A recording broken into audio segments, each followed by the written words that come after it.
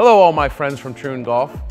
We're here again to talk about club fitting and how it relates to player performance. Now that we've finished the blueprinting process, it's time to get started. Now we're going to get into the actual club fitting. This is where the fun begins. First, we're going to assess how the player is using their current set of golf clubs and tie that back to the blueprint. Then we start testing components, starting with club heads first, and then narrowing down the shaft. The idea is by using process of elimination and a controlled scientific process, we're able to determine the best possible shaft with the best possible head to optimize performance. We utilize the revolutionary Club Conex adapter system. The Club Conex piece has both one on the shaft as well as one on the club head that allows us to interchange shafts with the twist of a finger.